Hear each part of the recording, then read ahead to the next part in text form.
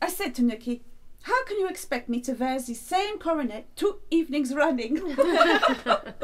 You would be the most beautiful woman in any room without a coronet, Your Majesty. Nonsense, Anna. My lovely niece Irina is ten times prettier than I am. You will make someone a wonderful wife soon, Irina. I don't think. Yes, who will it be? Who's the lucky man? Don't tease the poor girl, Anna. She will find the right man in time. We all have more urgent problems to worry about. If the Workers' Council has its way, there will be no more Tsar, no more royal court. Do you know, one of my footmen refused to fetch me some fresh grapes yesterday. Said it was not one of his contractual duties. I mean, honestly. Is that my poor little Alexei? Anyway, so I told him. If he cuts himself again, we may never stop the bleeding. Our only son. Ah, here he is. Mama, Mama, it won't stop. He's hurt himself with a pencil, the stupid boy. Here's my handkerchief, my poor love. It is not your fault. You can't help it. Irina, will you go and send for Dr. Lazaver? Of course, Auntie Alex. Lazaver? He's utterly useless. I went to him with my flat feet last week and he was completely unable to repair the arch. Not a clue. Oh, do be ah. quiet, Anna. You are making ah. Alexei even more ah. upset. No, the man for the job is Rasputin. Who's he? Rasputin is an extraordinary man. He's a starets, a wise man of the cloth, but he's also a faith healer. Nonsense. I've seen it with my own eyes. Let me fetch him here. Oh, very well. Don't worry, Alexei. Someone will help you soon. Ah, Dr. Lazaver. Good of you to come so quickly. It's Alexei. Just a small cut, I think, but being a haemophiliac. Let me have a look with my magnifying glass. Ah! I see. I see. I think he has cut his finger. Brilliant. Fortunately, I have something that will cure him. It has been invented in Germany, Your Majesty. It's a miraculous potion. It is called aspirin. It cures headaches and everything. In Germany, you say? I suppose it is worth a try.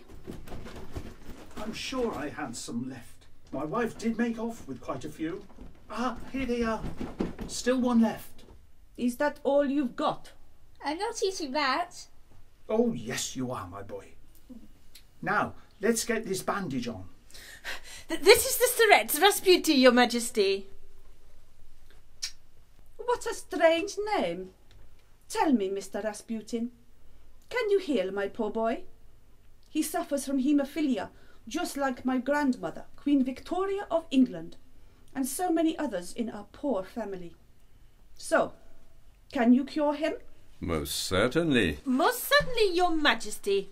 That's what you should say. Never mind that, Anna. What do you know of medicine? Mr. Rasputin, the doctor has prescribed aspirin. Aspirin? That will not stop the blood flowing. Quite the opposite. There are no drugs that work.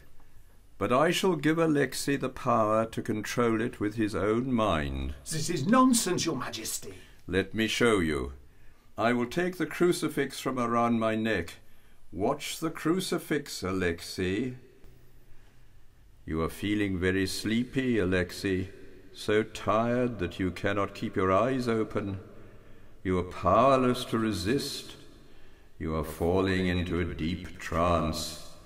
There. Now, Alexei, you are concentrating on your little finger and the blood that is coming out. The blood is slowing to a standstill. You can feel it stopping. Now there is no blood at all. When I click my fingers, you will open your eyes again. Mama, what happened? It is all right, my child. The kind man has stopped your finger bleeding. Now, off you go and play with your sisters. But I haven't quite finished. That was remarkable, Mr. Rasputin. It is just Rasputin. I told you he is a remarkable man, Your Majesty. He has helped me find the path of true holiness. Really? And what does that entail? I hardly like to say. We are all sinful creatures. God has given each of us our sins as a test. We must discover our sinful nature and expose ourselves to the deepest of temptations. It is only through experiencing our sins and our deepest desires that we can hope not just to sublimate them, but to purge ourselves of them and become pure and holy. Golly. I am sure that the Tsaritsa has no such sins. We are all sinful, but some of us have not faced temptation yet. Look out, it's a Tsar. What was all that noise, dear? Poor Alexei has cut himself again, Nicky. And who is this unkempt man?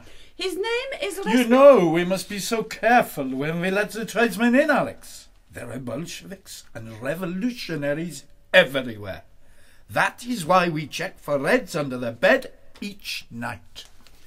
I am no tradesman, I am Rasputin. I can see I am no longer welcome here. I will attend to my flock. You know where I am if you need me. Remember my words. Nicky, that was very rude. We don't have time for all this, my love. You know that we must make plans to travel to England for Uncle Edward's funeral. Must we go? It will be a ghastly affair. And it is such a long way from St. Petersburg. Uncle Edward wasn't such a bad king. Perhaps I can give young George some advice as he takes up the reins. Yes, Nicky, you do just that. Come on, Anna. You must help me pack.